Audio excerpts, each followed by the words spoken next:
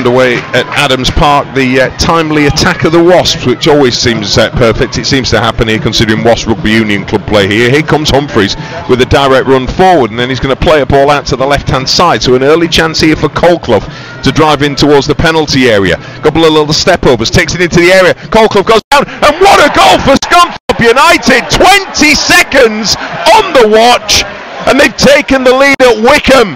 Now that's the way to come flying out of the blocks.